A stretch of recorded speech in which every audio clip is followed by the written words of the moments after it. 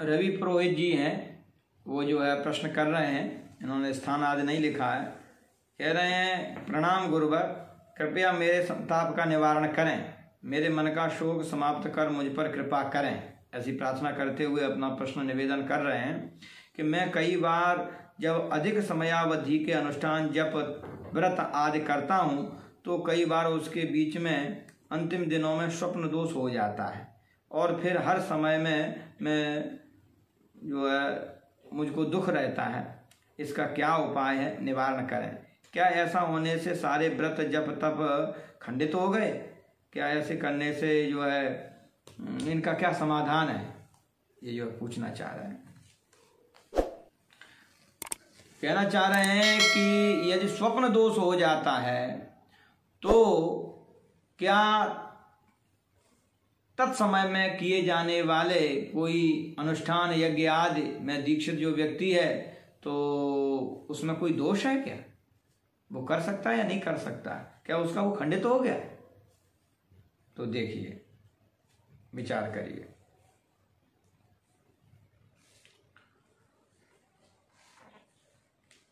मुख्य बात यह है कि स्वप्न दोष होता क्यों है?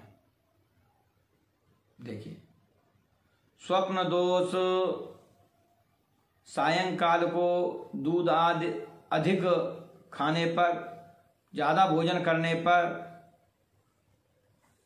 अपाच्य हो जाता है व्यक्ति, कुपच हो जाता है तब, अथवा वो गलत चिंतन करता है तब, या वो जब अत्यधिक वीर्य बनता है तो फिर अब वो उस इतना उसको ऊर्ध्व रेता नहीं है व्यक्ति के, उसको या तो मेहनत करे तो अपने शरीर पर उसका असर हो जाता है, अथवा फिर वो उसको ब्रह्म तेज बनाने के लिए ऊपर खींच ले जाता है ऊर्ध्व रेता कहते हैं जिसको। ऐसा जो अभ्यास नहीं होता है तो फिर वो निकल जाता है। ये है। तो यदि अनिच्छा से अनिच्छा से स्वप्न दोष होता है, हो जाता है तो उसमें कोई भी ऐसा जप, तप, अनुष्ठान, व्रत आदि खंडित नहीं होता है। यज्ञों पर भी ज़रूर बदलना चाहिए। ऐसा आचार्यों की परंपरा से प्राप्त है कि यदि स्वप्न दोष में जो है, वो असावधानी रहती है, वो सोता रहता है तो वो जो है, उसको यज्ञोपवीत अवश्य बदलना चाहिए। देखिए, परंतु व्रत आदि खंडित नहीं है। वो तभी खंडित माना जाएगा जब वो स्वेच्छा पूर्वक ब्रह्मचर्य का विसर्जन करेगा ब्रह्मचर्य का भंग करेगा तो वो व्रत, जप, तप आदि जो भी कर रहा है तो वो उसमें न्यूनता आएगी, वो खंडित माना जाएगा। अब एक विषय पर और विचार करें कि ये स्वप्न दोष का भी दोष लगता है आदमी को। ये ध्यान रखिएगा।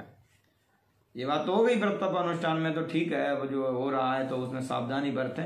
क्योंकि मन से गलत चिंतन करने पर ही स्वप्न दोष होता है। ये बात माननी पड़ेगी। तो स्वप्न में किए गए अपराध का, स्वप्न में भी मन से और जो संयोग हुआ है, किसी न किसी गलत स्त्री का चिंतन हुआ है, गलत चिंतन हुआ है तभी जो है वो जो है स्खलित हुआ है। ऐसा महापुरुषों का कहना है।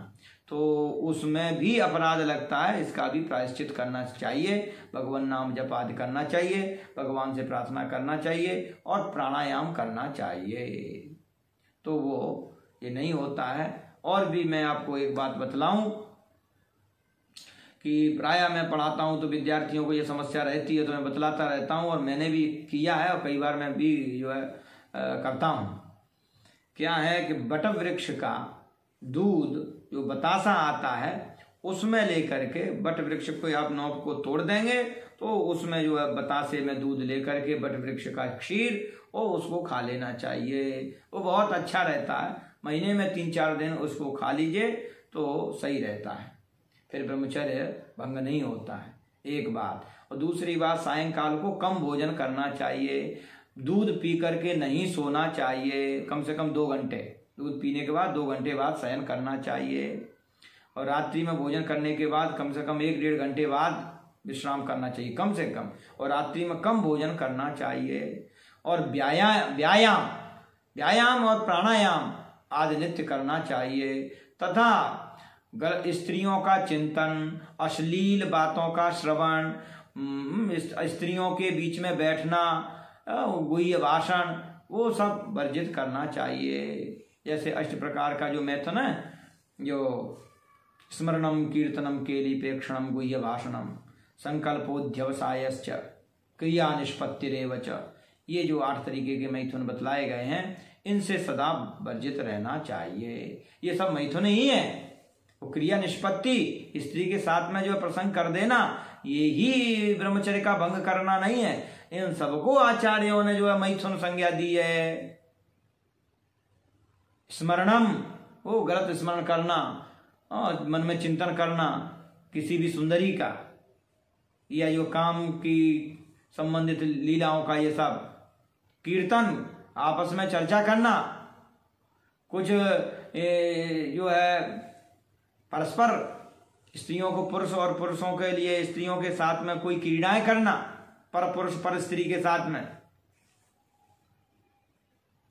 और कुछ गुप्त भाषाएँ करना, गुप्त बातें करना। और अच्छे गौर से घूर घूर करके देखना। इसी के अंतर्गत आ जाता हमारे पूज्य गुरुदेव कहते हैं असली चित्रों को देखना। ये सब मोबाइलों में, इनमें सब लोग सब पूरे दिन उनको ही देखते रहते हैं, और फिर कहते ब्रह्मचर्य भंग हो गया। इससे बचना चाहिए।